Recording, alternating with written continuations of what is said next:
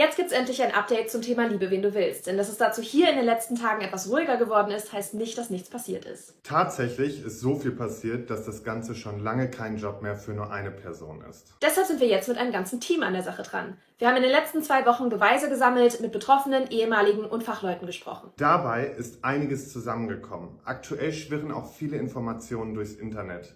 Uns ist aber bei der Auswertung und Verifizierung besonders wichtig, gewissenhaft und rechtssicher zu handeln und vor allem Betroffene zu schützen. Wir koordinieren die journalistische Recherche außerdem mit den entsprechenden öffentlichen Stellen und übergeben relevante Inhalte sofort an Polizei und Staatsanwaltschaft. Hinter uns steht ein ganzes Team, mit dem wir unter Hochdruck aktuell an der ganzen Recherche arbeiten. Zum Schutz der Betroffenen werden wir uns aber auf Social Media nicht mehr zum Thema äußern, bis die Rechercheergebnisse veröffentlicht sind. Und wir bitten euch, die oftmals noch minderjährigen Betroffenen nicht auf eigene Faust zu kontaktieren oder Recherchen in juristischen Graubereichen zu betreiben. Das ist auch gar nicht nötig, denn die Recherche zu Liebe, wen du willst, läuft bereits auf Hochtouren. Also Steve und Liebe, wen du willst. Die ganze Sache ist noch lange nicht vorbei.